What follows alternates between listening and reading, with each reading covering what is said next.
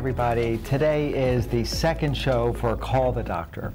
Uh, the title of that show is specifically because we're going to invite you to telephone in with your questions for tonight's special guest. But first, I introduce my co host. Thank you. I'm Jane Kitchen, and I'm going to be representing you, the viewers. Um, my questions are not as sophisticated as, as the physicians who are here tonight. So when I think of things and think of maybe what you might be wanting to know, I will certainly be representing that. Plus, once again, we love phone calls. Um, last time, Dr. Perlmutter, I think you got four calls, and I mean, really good calls. They don't have to be excellent, you know. Well, we calls, got more. we only had time to address four of them on the air, but if we get them sooner, we'll address them sooner. We'll get more calls in today. Today's guest is one of my partners. His name is Dr. Hardy Singh, and he is the shoulder specialist for North Carolina and uh, several states surrounding it. Uh, Hardy, welcome. Thank you. All right. Thank you for having me. Today's topic will be shoulders.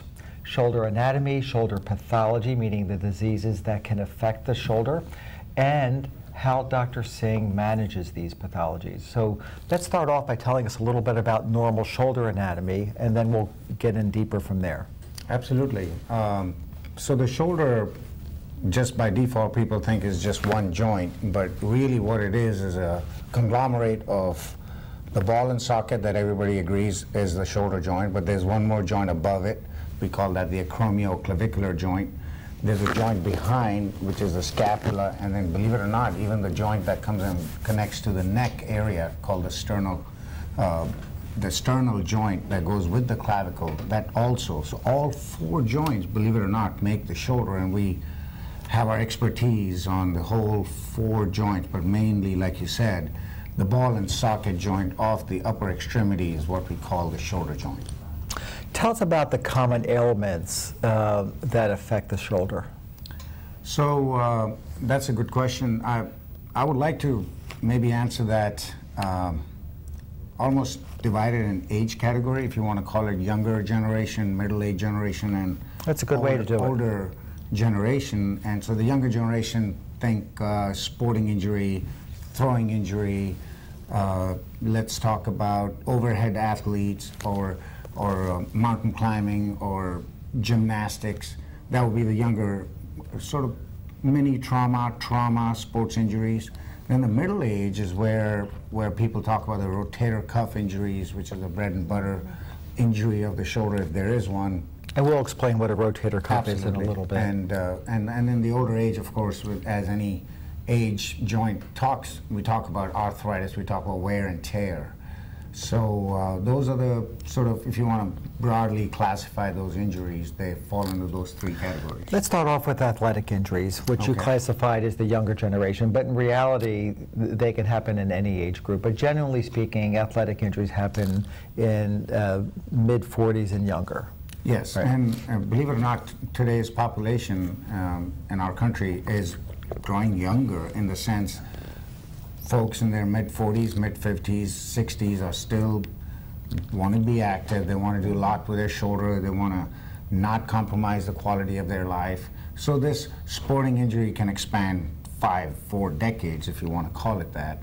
And it's really, um, and if, if to explain a good sporting injury, I, I'm, I'm going to make it simple by saying, if if something bad happens between this ball and the socket, or the structures surrounding the ball and socket due to extreme pressures.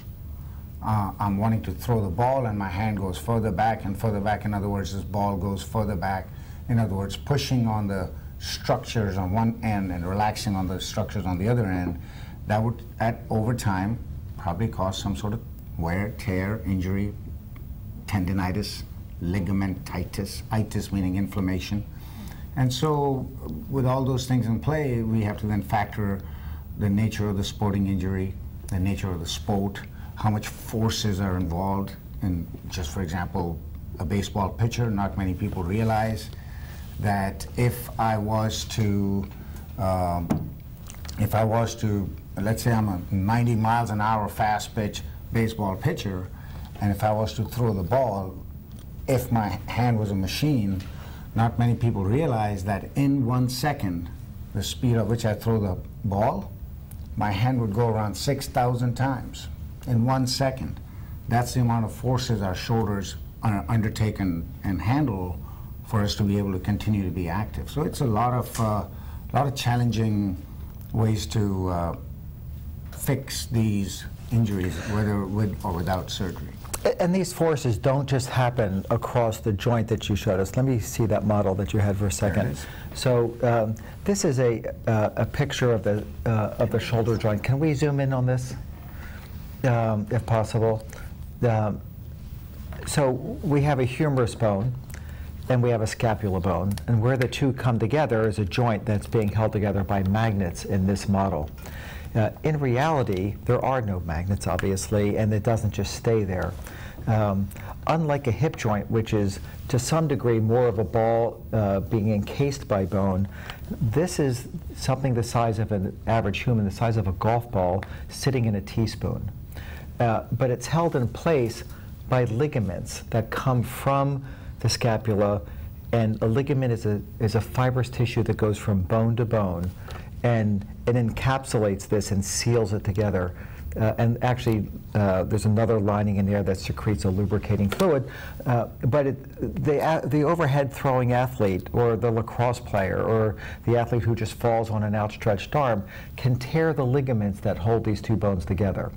Um, that's separate and distinct from a damage to the actual cartilage, which we'll talk about in a little bit. Um, uh, in separating out the generations again, let's, let's we'll come back to the to the athlete and how we fix that Sure. ligamentous injury. As you get older, damage can occur to the actual cartilage, which in this model is shown as blue, um, and it's not really blue. Um, uh, but to make it more distinct and visible, you're seeing it as blue in the model uh, from the manufacturer. Um, let's talk about the more middle-aged to older people who end up with damage to the actual bone. And again, cartilage, let me regress just a little bit, um, is a Teflon-like coating that would be Teflon on a pan. Um, God gave us a slippery coating on the ends of our bones that have to touch another bone, and that's called cartilage.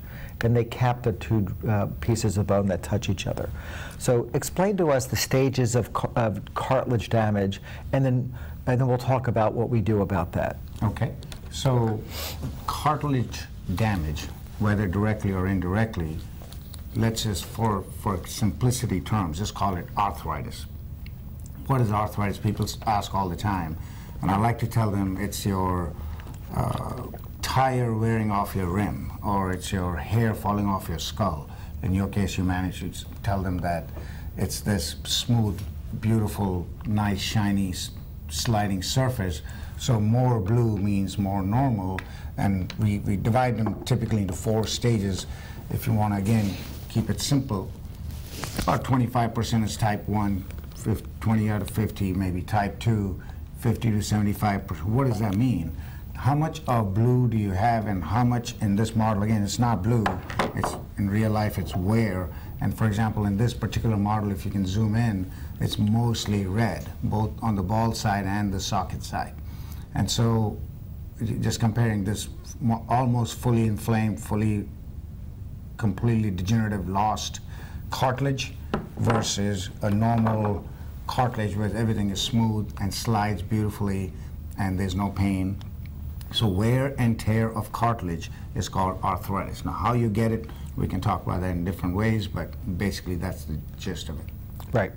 So now let's go back to where we started with that throwing athlete, and let's talk about the type of conditions that uh, that they would have that are not inclusive of a, a tear to the rotator cuff. Uh, for example, bursitis Exactly. is a common thing that we see in the office. Probably the single most common non-surgical disease that we see um, in a shoulder is bursitis, and it's easily treated. And and typically it shows up uh, with a patient having trouble to sleep on that side or reach their hand up over their head.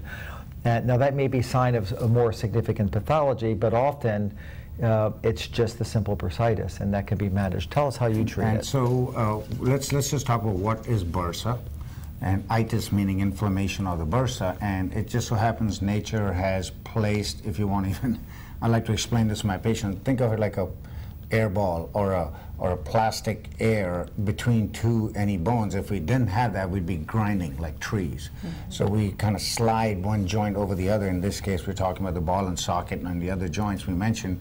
But basically, when that air ball or the air pocket where the sliding mechanism goes bad, itis, inflammation, fluid, anger, redness, and, and, and where the grinding starts, we call it bursitis. Now, bursitis shouldn't happen by itself. There's probably some reason behind it. And in this case, if you're talking about you know overhead athletes or throwing athletes or athletes who are doing a lot of uh, upper body exercises, sometimes they overdo it more than the body can handle, and the reaction to their whatever injury is is bursitis. So we see the end product of their injury by calling it bursitis. But then that's where we dig in a little bit deeper to figure out what is the reason for the bursitis. How would you treat it? Say you say I'm coming to your office now and I'm not showing signs of anything really significant, but I really don't want to spend my copay for an MRI. Um, I really don't have time to go to therapy. Uh, but it hurts to sleep on that side, and it hurts when I pick my arm up and move. I have trouble putting my jacket or shirt on. I have trouble washing my hair in the morning or brushing my teeth. This Uh, activities of daily living. Right. Yes. Sh- show me what type of signs somebody could expect to have, other than what I just said, that would make them think that, or make you think that they have bursitis, and tell us how you would treat it. So when that air pocket moves and it hurts, it's called bursitis. So for example, raising your hand overhead, reaching an upper counter, for example, in the kitchen, or picking something heavy, or pulling, or pushing, those symptoms, and it, it just is nagging. And, it, and you ask the patient and they say, yeah, in the last three months, it's not, not only gotten better, it's actually slowly getting worse. I wake up at night. Uh, with some ache and I got to massage it or I got to put heat or cold on it. So those simple things folks will do. But itis, meaning inflammation, so we try our bread and butter anti-inflammatory medications, physical therapy. We try to strengthen the core of the shoulder, which is called rotator cuff. I'm sure we'll talk about it soon. Those rotator cuff are, are basically balancing forces between the ball and socket, holding the ball into the socket as it moves around. So we try to work with those four, or if you want to argue five, core muscles of the shoulder, then that eventually, as the shoulder gets core stronger, the bursitis gets lesser and lesser. I want to throw out a, a cause of that also. Women tend to, some women carry pocketbooks that are way too heavy. and I've I worked with a physical therapist personally one time because I was in my job carrying everything in this bag, and it, it, it really did damage to my shoulder, and it And- took quite a while. And not to just the overcome shoulder, we're talking about the lower Your back, back upper and back, neck. Um, so roller bags or roller, you know, luggage bag type bags are better, uh, especially for the shoulder. And the other thing is the shoulder is very close to your your brain, if you want to call it. It's a very well perceived. It's a painful joint when it hurts. It's it's hard to escape it. And it, I, I, I favored it, and so I quit moving it, and that brought on additional problems. Correct. And it's the only joint in the human body that does what we call 360 degree motion. Mm-hmm. So that makes it that much more easily injured mm-hmm. and that much more hard complex if you wait it and mm-hmm. wait it out longer and make that what Dr. Perlmutter was saying about bursitis becoming more than bursitis into something else. Do you ever take out the bursa? My mother had that done, and I didn't know if that were still a, a way that people would treat. They took out an actual bursa sac.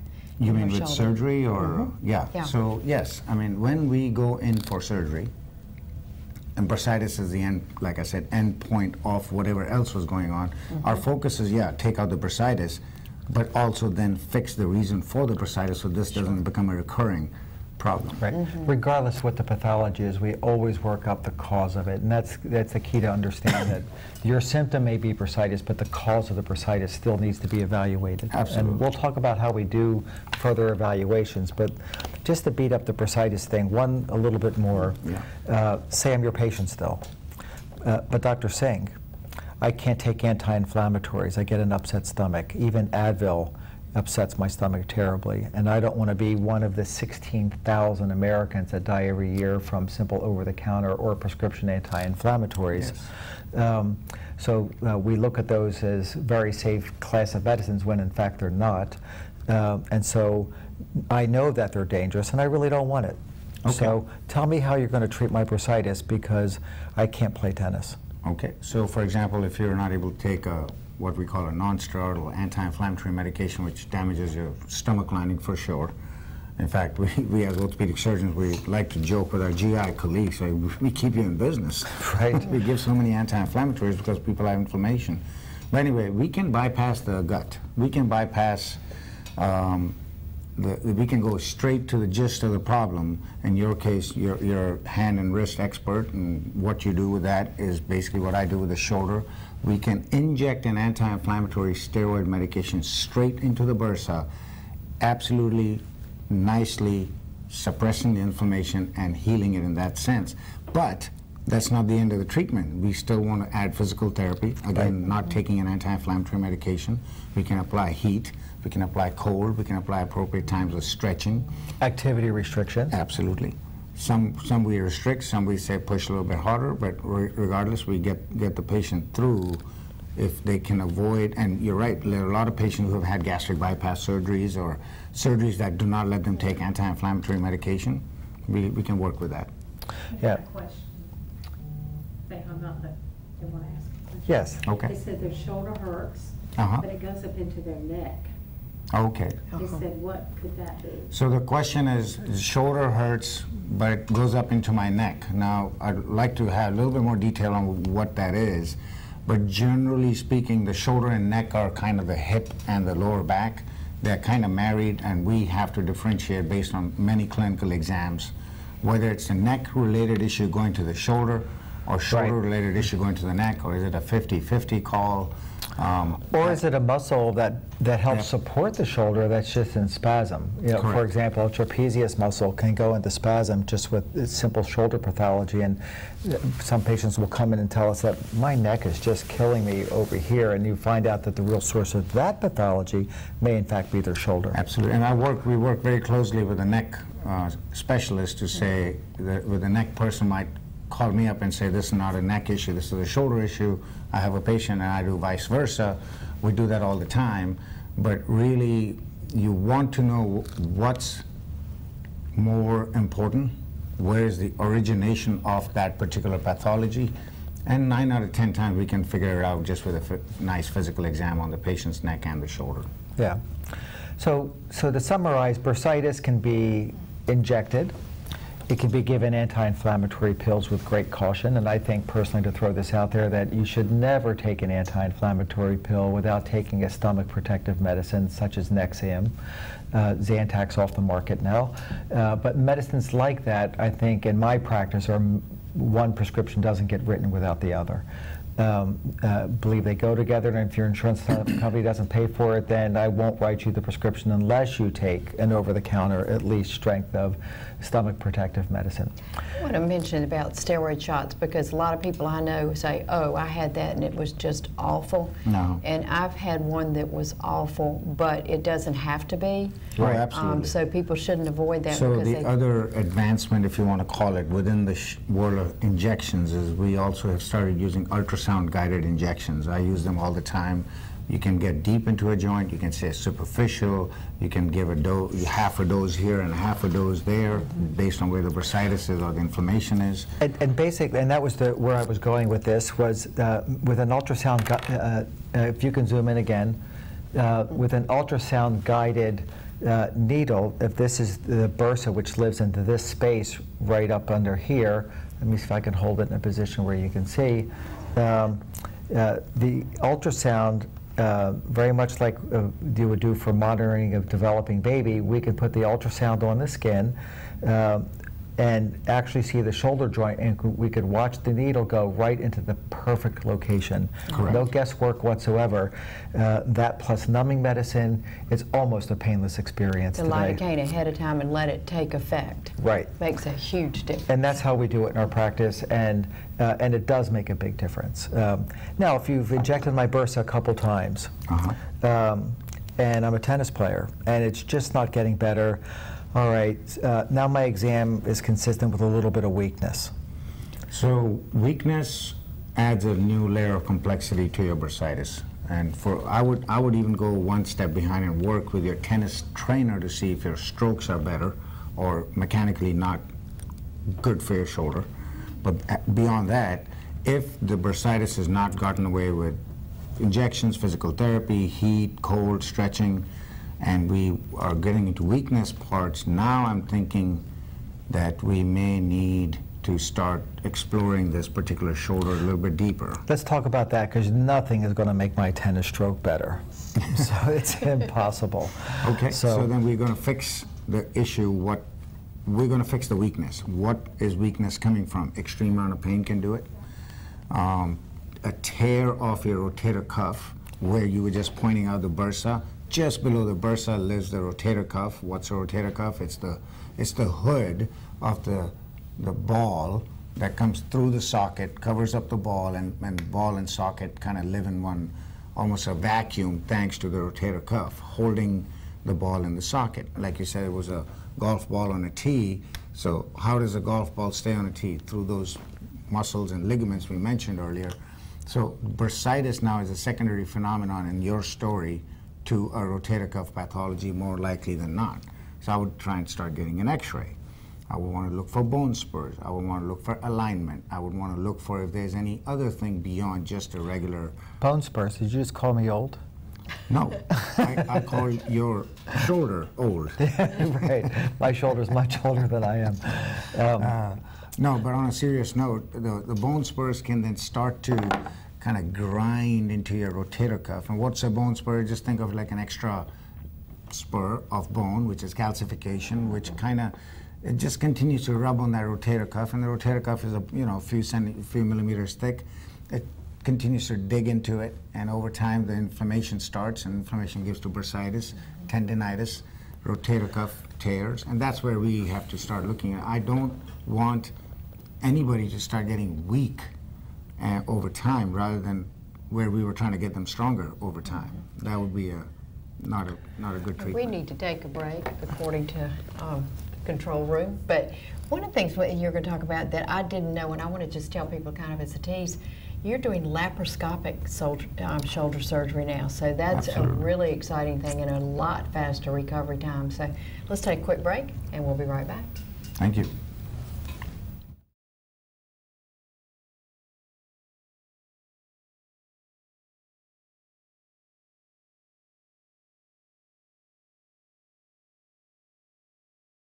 The tank is on E, and your low tire pressure light is glaring at you again. You do not have time to wait in line and pay to put air in the tires, and you certainly don't want to get out of the car in the cold and pump gas. What if you could pull up to a gas pump and have an attendant run out to greet you to pump your gas, clean your windshield, and put air in the tire, all for no extra charge, while you step inside and enjoy a made to order breakfast or lunch? Does that kind of full service exist anymore? It does at JD's Grocery and Grill, a service station created to bring back the full service experience to all customers. JD's Grocery and Grill is a full service gas station. Eat in restaurant with tasty made to order food and a grocery store all in one. The staff at JD's Grocery and Grill is ready to field all requests and will help you find anything you need. Call them today at 252 972 5000 or stop on by at 1240 Atlantic Avenue. Store hours Monday through Saturday, 6 a.m. to 6 p.m. Grill hours Monday through Saturday, 6 a.m. to 2 p.m. JD's Grill and Grocery at the heart of great food.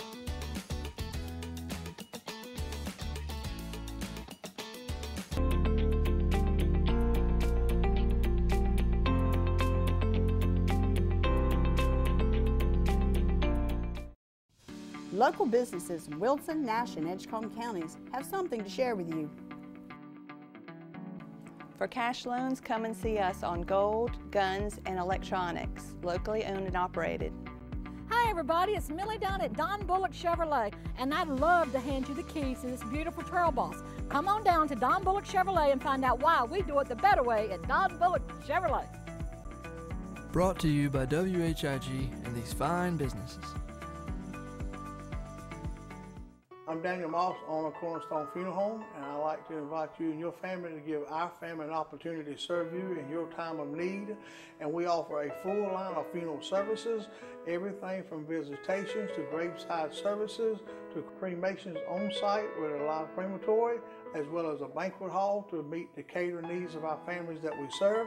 We offer catering service, we offer refreshments prior to visitations and services of our family, and we want to invite you to come and experience the difference here at Cornerstone Funeral Home.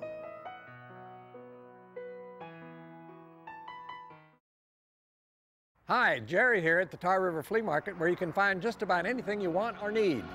From appliances to lawn equipment, from musical instruments to watches, from jeans to handcrafted jewelry, from pots to peanuts and popcorn, from electronics to ice cream, from coins to fragrant burning oils. The Tar River Flea Market has 40,000 square feet of indoor shops, 12 acres of outdoor vendors. Open Friday, Saturday, and Sunday, 9 to 5. Highway 301, South Rocky Mount. See you there. Put your graduate in one of the safest, most dependable cars in the market. Put them in a Chevrolet. For three years in a row, J.D. Powers has awarded Chevrolet the most dependable cars on the road today. Don Bullock Chevrolet has over 30 different makes of new cars and trucks right now, and you can save thousands. Pre-owned or new, we have it at the price you want. Doing business the better way, Don Bullock Chevrolet.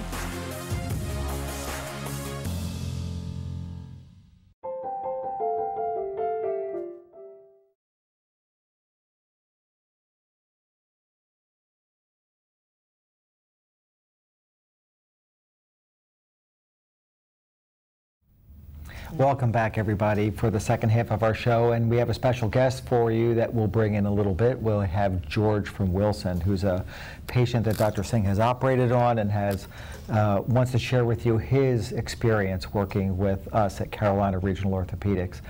Um, we started talking about arthroscopic surgery, and that's overwhelmingly, besides uh, shoulder replacement surgery, which I want to then go into, um, and that would be a good segue to, to, to bring George in.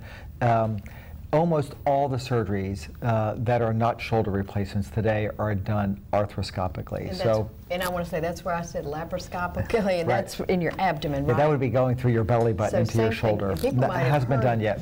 Heard of those, but that's the little tiny incision. Right, a series of three, sometimes four very small incisions, about a quarter inch long. Uh, uh, often, some don't even need sutures. Often, they just get one little tiny suture. Um, but um, through s- very specific parts around your shoulder, we can get access to the parts that give us disease.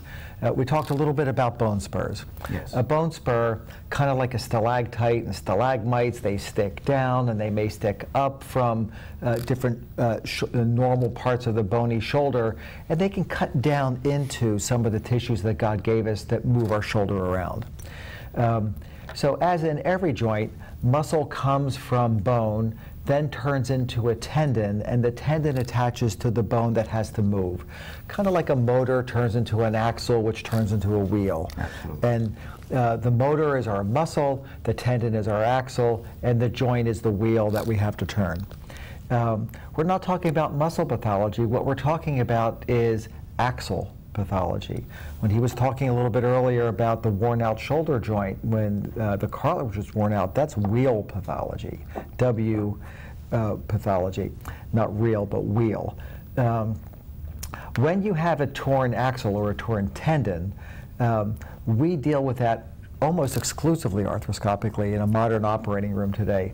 Um, and so give us a little hint about how we go ahead and repair those. Now, the presumption is, using me as a patient again, I had my MRI or a very careful physical examination by Dr. Singh, and it's quite definitive that I have a partial rotator cuff tear or maybe a complete rotator cuff tear, meaning that the, the muscles that attach to the bone uh, are either partially pulled off or completely pulled off. And now I need to have them repaired. Right. So uh, a good good way to figure out one whether it's torn or not would be an MRI. And if it's torn, how big is the tear? Is it a centimeter? Is it a centimeter and a half? Is it two? Is it three? Is it one tendon, two tendons, three tendons? We try to figure that out. get a good idea of what we are tackling. But one of the most advanced things we have uh, accomplished in shoulder surgery, let's say in the last even uh, 15 to 20 years, uh, and we'll talk about anesthesia real quick and make it pain-free, how we have made lots of adva advancements there as well. But the rotator cuff tendon surgery, which is what we initially talked about, bread and butter, is the last time I opened a shoulder to do that tendon repair back to bone. You mean an incision when you say like open? An incision. And I say open as in traditionally where we would you know, take skin to knife and actually get into the joint and open it traditionally was maybe, I probably opened one a year, if that, because you have to. But the camera. Way is, less than 1%. So, yeah, out of maybe every 600, 500 surgeries becomes an open surgery, which is very, very rare. So the camera surgery, and I'll, if I don't, um, I'll show you if it, it's literally the, the, the incision that we make on the skin is a, what we call a stab wound with a little knife, and we place a camera which looks very similar to this long pen and goes inside, one camera looking at it, and we bring two or three other similar, we call them portals or small holes, to get in there and actually then fix the rotator cuff back to the bone, either through anchors or through direct repair. And we, the idea is to make it back secure. And as we were talking earlier, take out that bursa and that bone spur you mentioned, I always go after it and take it out because I don't want that rotator cuff to return. Correct. And by repairing it, we mean literally getting uh, suture and needle and sewing it together. And Correct. sometimes if it's pulled off the bone, uh, we, uh, you mentioned the term anchors. There's very modern devices which are kind of like baby grappling hooks that we place into the bone. They anchor into the bone and don't pull out. And from those very, very small anchors come very modern sutures that are made out of uh, man-made materials like Kevlar, the same stuff that we make bulletproof vests out of, super strong stuff. And that sews that rotator cuff back down to bone Absolutely. in a super strong fashion, uh, assuming that the technique is done perfectly. And, and that allows us to do one more thing that we didn't used to be able to do, and that's get them into therapy right away. So the advantage of arthroscopic surgery over traditional, what we call open surgery or making an incision surgery, is you have not invaded all the other muscles to get to the rotator mm-hmm. cuff. Right. Then invading them back by suturing them back on your way out. So that trauma is eliminated. So you're going straight to the core of the problem. So which is why people are getting back to work faster. People are having much, much, much less pain than traditional open surgeries about 15, 20 years ago. People are back to rehab faster, and physical therapy, of, of course, is part and parcel of my, my daily treatment for my patients. I will uh, probably tell you that if surgery is important, I give equal importance to physical therapy for fixing that surgical rehab post-operatively because I don't want to get a frozen shoulder in my patient or get that bursitis come raging back or, or we missed the boat where we had to stretch the patient and we didn't. Um, help the patient through stretching, strengthening, and get through the rehab. So the, it's a joint team effort between what the patient being in the core of it, but then the surgeon, the physical therapist, the nurse, the, the assistants, the x-ray techs, everybody comes together to make sure that the patient hits that finish line on time. We've stressed this on the first show that it's it's definitively a team approach. Um, my words a month ago or or so were that I do 33%, the patient does 33%, and the therapist does 33%. If one of us doesn't show to the party, you get a 66 percent. If, assuming everybody else gave you a full home run effort, and a 66 is still a failure in any grade book. Absolutely. So all three have to step up to the plate. I have to do a perfect job. The therapist has to do a perfect job, and the patient has to participate. Right. You know. Dr. Singh, what would you say to the person watching who is in a lot of pain and just says, "But I've heard it's a nightmare type surgery. I'm really scared of it." Address that because a lot of people are probably thinking that. Right, and I, I like to uh, jokingly call it the, the plane crash news. When the plane crashes, we all talk about it, but when the plane lands and takes off perfectly, we don't talk about it. So that one patient who's had maybe a bad outcome or a painful outcome ha- will tell a lot more people than a patient who's doing well.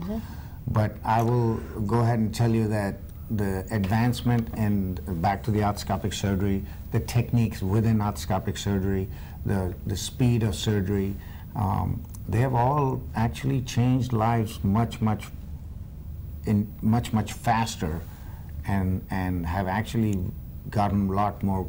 Surgery now, if I may, is not a non unpleasant experience anymore. It's, it's not, uh, surgery doesn't equal pain and howling and screaming anymore. In fact, most people have less pain the day after their rotator cuff repair than they did the night before. Well, and one of the things when you started this show was you were saying, you looking at the camera and saying, you don't have to hurt. You don't have to hurt. You hurt. need don't to, have to need hurt. to just, I mean, because I think a lot of people in our area think this is my way of life and this is the way I'm going to have to be. And it certainly is worth it. And everything that you all have shared with me, you don't rush into surgery. Surgery is what's done if other techniques and other things don't don't work. That's right. And even if you do have to go to surgery, let's talk a little bit about the anesthesia. Absolutely. Um, every single modern hospital uh, has enrolled anesthesiologists now that have very special training, particularly for shoulder surgery and my upper extremity surgery. That means that you just pretty much need twilight sleep. You don't have to get a tube in your throat in most cases. Um, you don't get intubated, is our word for it. Um, and you're numbed up before the surgery and you don't know what's going on. Uh, but when you wake up, so to speak, you don't wake up in any pain whatsoever. And we overlap that with long-acting numbing medicines and, and then oral medication. So there's a nice transition from uh, how we treat you immediately before the surgery, during the surgery, after the surgery, and your medications at home, and they blend perfectly. Tell us a little bit about how type of anesthesia that you like for your surgeries. So the anesthesia that I would insist on on my patients would be what's known as an interscalene block. That's not important. What's important is the nerves that go to the shoulder have been blocked for surgery. And I like to use a longer acting pain medication. And by blocked, you mean they're numbed up. They're numbed up. So, for example, my patients will not even know they've had surgery for two to three days after surgery because the numbing medicine is continuing to keep the shoulder pain free, and that's a very critical time because that's when the patient has a bad experience. That's when the, the start of a bad experience, like you said. And not every surgeon uses those techniques, by the Correct. way. Um, if, if I was to, and again, I'm old enough to tell you that I've used this anesthesia now. I've also seen the, when this was not around, the moment the, wake, the patient woke up and opened their eyes, they had pain. And that's, nobody wants that. No. Today, patients, the first question out of their mouth is, am I, uh, uh, what? Are you telling me I'm in the recovery room already? I don't trust you. Right, it's very common. So- The sensation of pain is literally non-existent in our recovery rooms from the surgeries that we do. You mentioned intubate, and a lot of people wa- um, watching might not know what that is. In other words, they, you don't have general anesthesia, and a lot of people You're are not really getting a scared of tube that in your, in your throat breathing because for of you. nausea and, and Right. after effects. So this, you're able to, to isolate the area, and then the twilight is like gentle, gentle relaxing. Your eyes are closed, you don't know what's going on, uh, you can't respond to something, to a question that's asked of you, and we wouldn't try to ask you a question. You're functionally uh, in a light sleep. Um, and uh, and we like do that. A GI procedure, for example. a colonoscopy or something like that. It's very, very comfortable, and and some people are in fear of waking up during my surgery. Right. Just doesn't happen. Just doesn't happen. Just doesn't happen. And you, and you also keep their pain under control after, I mean, not with, with um, opioids and whatnot, but you give them injections and you keep it such Correct. that they're Correct. not hurt. right. Yeah, we've, we've figured out over time what works and what gives the least side effect. Um, narcotics is not the way to go anymore. Um, you don't have to get constipations and nauseas and vomitings and all the side effects of all the strong pain medicine. We can bypass that through other means. For example, the numbing of the nerve we talked about. sim- simple things like Tylenol, something simple like an injection after surgery. Both me and Dr. Perlmutter believe in doing stem cells and uh, platelet-rich plasmas, things that heal your surgery faster. Um, And stimulate healing more. stimulate healing, get to that pain-free level faster. So we are, we're not, if this is the problem, call it whatever, we're attacking it from every angle we can find. So we do less of everything else and get that multimodal pain initiation onto that shoulder, onto that wrist, onto that back. So, so let's talk about that person who comes to us. We, we see it every day in our practice. Who was that person that you were talking about who was afraid to get it fixed, right? Yeah. They knew they were told they had a rotator cuff tear 10 years ago, um, and they just said, "But I'll live with it. I'm not going to get it fixed." Well, that pain doesn't go away. Not only did they live for 10 years in, in notable discomfort, but that pain got progressive. And then they went from being able to pick their hand up over their head to not being able to pick it up any more than this. They can't put a shirt on on that side. Um, The muscles atrophy, right? Right. They start getting their hair cut shorter. Women wear become spinners, not reachers for bras. Uh, earrings and necklaces stop being put on, and um, and you make these adaptable changes because you just can't reach the top of your head. You can't reach your back. Um, and uh, all types of athletic activities stop and you gain weight. Um, all because you're afraid of a surgical procedure, which truly hurts typically less the day after the surgery than it did before. So, what I want to do is use that as a segue to introduce our special guest tonight. Uh, our special guest is George. He's from Wilmington, North Carolina. That's right. Uh, Dr. Singh has operated on both of his shoulders. Um, and what happens when a rotator cuff is chronically torn and ignored is not quite dissimilar than if you had a nail this big sitting in the sidewall of your tire and you said, well, I'm just going to put fix-a-flat in it. I'm not going to fix my, uh, take the nail out and fix the tread. Let us uh, just ignore it till the tire blows up. When the rotator cuff is not repaired, the tire blows up. It really gets bigger and worse. What do you do with your patients when they have a completely destroyed, excuse me, rotator cuff, and all that you see is the raw bone left on there because now it's raw bone grinding in the raw bone. Tell us how you treat it. I haven't fixed one of those problems since uh, 4 p.m. today. Uh, so, so, but, but like you were talking earlier, if the ball and socket marry each other through the ligaments and the rotator cuff, and the ligaments and the rotator cuff have a tear or pathology, and there's a big hole in there, now the ball and socket are not in unison with each other. They are working against each other, and patient hurts. They can't, like you were saying, can can lift. And they hear the grinding It's only noise. six inches from your ear. Right.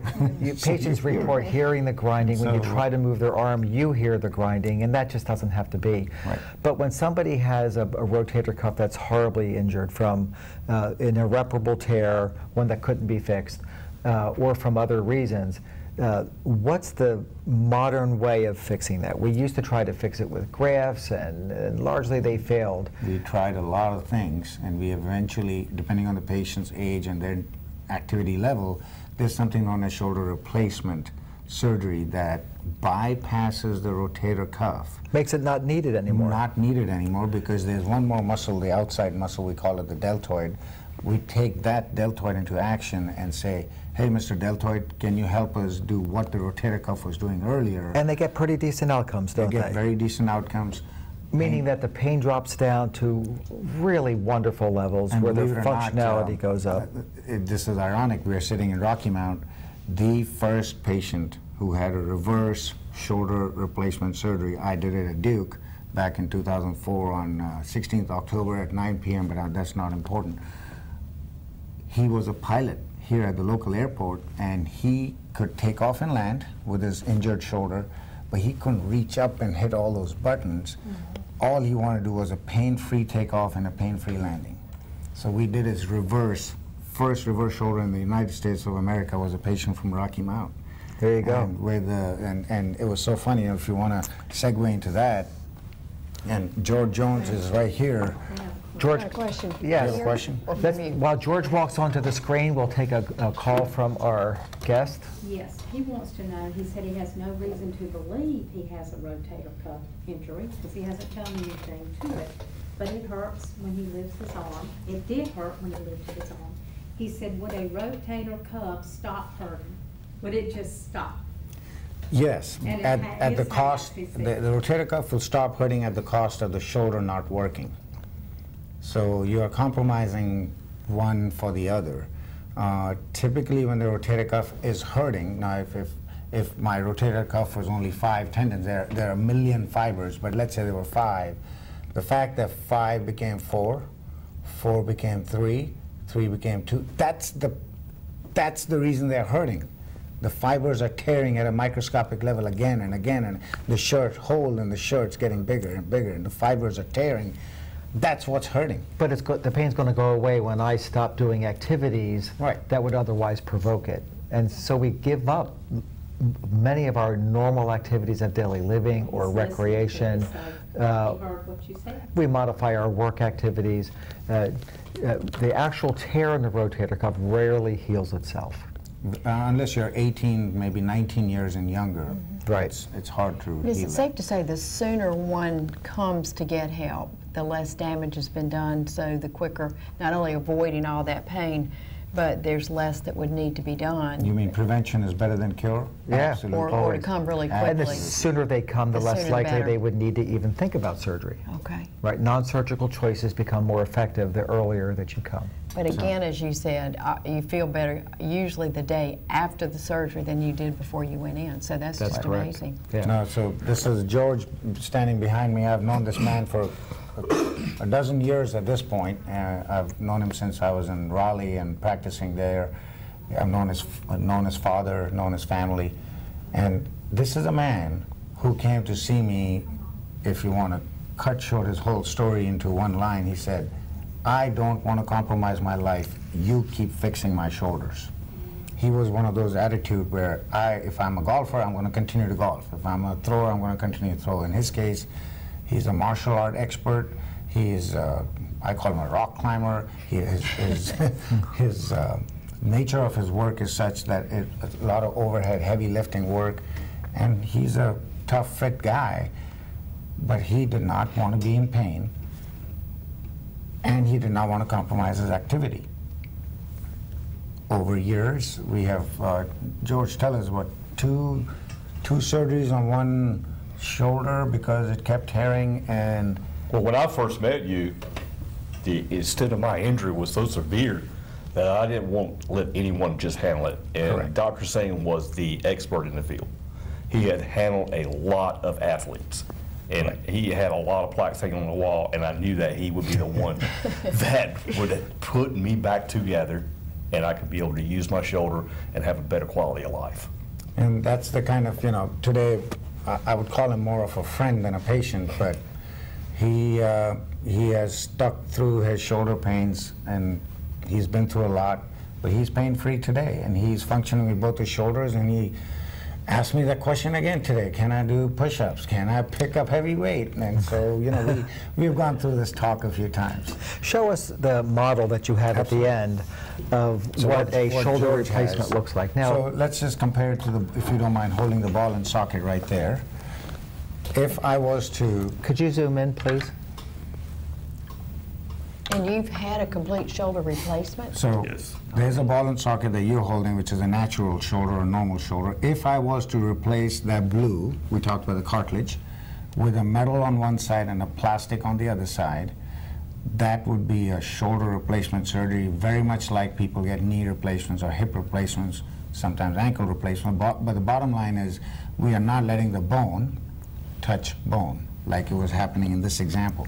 So we replace the ball for the ball, socket for the socket. That's called a sh- total shoulder replacement. That's the standard way of doing it That's the standard way of doing for the last 30, 40 years. Correct. Now, when we talked about the rotator cuff being so bad, Right. so torn, such a big hole, irreparable we call it, then we cannot do the ball for the ball and socket for the socket. Is that because the rotator cuff, which normally makes this ball and socket move, uh, is gone. not functional Correct. anymore. For the same reason you couldn't function a rotator cuff tear is the same reason you wouldn't be able to function a total And, and for a decade, what surgeons have done was use the only tools that are available to them and do this surgery, even knowing that although the pain will go down, the patient's not going to move their arm normally. They were shooting for pain-free, that's Right. it. They were Even not shooting for function. But now we can we can increase function Now we and get rid of pain. Correct. So now, when the ball, ball, socket, socket, we call it a total shoulder. However, if we take the ball and put socket in where the ball was, okay, and take the socket and put a ball on it, and we marry those two together, we So call you've it. switched the components. I've switched ball for socket and socket for ball.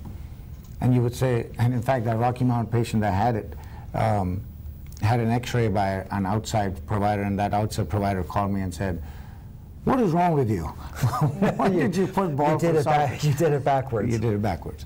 So the bottom line is like this particular socket, as it gets into that ball, now does not have to depend on the rotator cuff that was already torn.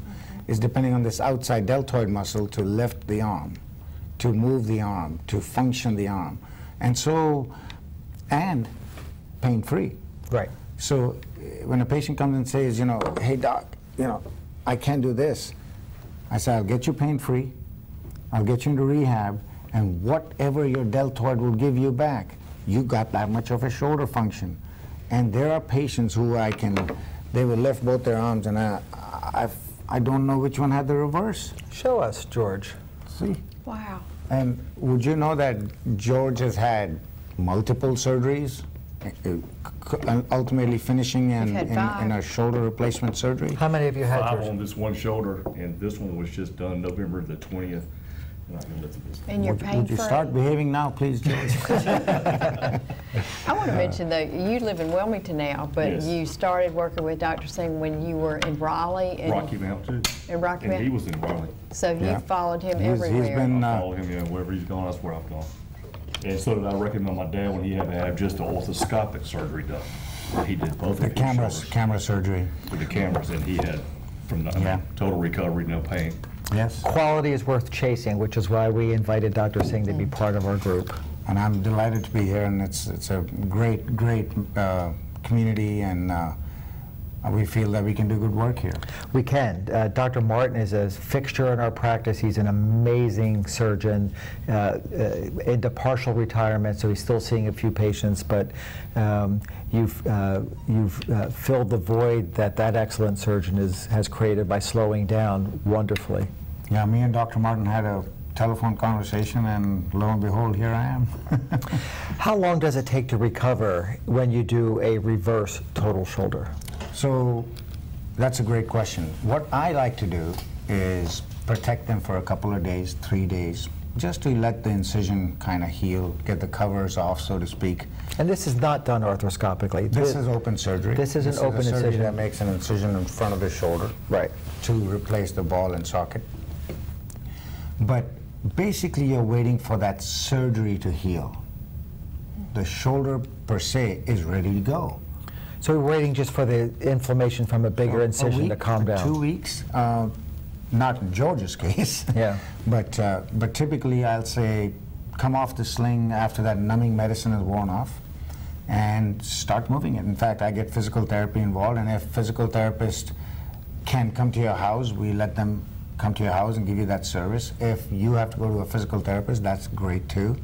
So we do that, and um and basically, from a shoulders perspective, I like to tell my patients, if it allows you to do X, go ahead and do X. There is no true restriction coming from the surgeon's perspective to that reverse shoulder. Now, the regular shoulder replacement, I protect them for three weeks because there's a particular rotator cuff muscle that we have to protect, and that takes about three weeks to start healing. That we, we'll delay. So today I did two or three total shoulders. One of them was reversed. In fact, the person who got the reverse is already three weeks ahead on schedule as compared to the other two. So uh, it's okay. But the end point still is pain-free, good functioning, better shoulder than before without pain. Right, and so the message here is just don't wait if you have pain. There's no need You to. don't have to live with it. None of the surgical procedures that we're talking about today are really insurmountable. How much, how long were you taking pain medicine? Not on the one that had five surgeries, but on the, Even on the on one the with five. Here, not, not long at all. No. So, Because we, we use that numbing medicine, we use Right. medicine inside the shoulder after surgery to supplement the numbing medicine. And even Right. with the extensive surgery that I had here. George has had, medicine- George has had surgery all the way from shoulder to, all the way down to his elbow. That's how long his, uh, right. So the take-home message is, because I think we have to wrap it up here, is don't live in pain. Um, George, thank you for coming. Dr. Singh, you're amazing. Do you know Uh, who's going to be on next time? I do. Uh, we have a, a, another doc uh, from Raleigh. He's uh, leaving the area to take a fellowship in wilderness medicine, um, and he is a snake bite expert. Uh, expert. Uh, Sean Bush is his name, and he's going to be here talking to us about uh, how to avoid snake bites and what to do if you get that. And that's on June 15th. That's Tuesday, correct. June 15th, so you don't want to miss that either. So Right, and that'll be followed by Dr. Glenn McNichol, who will talk about non-surgical ways of controlling your pain. He's a pain management specialist. that's excellent. Well, thank you so much. Thank you. I love learning from these, and I'm sure everybody watching at home too. I mean, I now I'm going to be a cheerleader for y'all because I'm going to go out, and if somebody says my shoulder hurts, I'm going to say you need to get it looked at That's right now. Don't wait. And remember, you can call in to our show. It's called Call the Doctor. We'll take live calls on the air. If you don't feel comfortable speaking on air, you don't have to. You can read your question to us, and we'll, we'll air it for you. Thank you for joining us. Thank you. Thank you.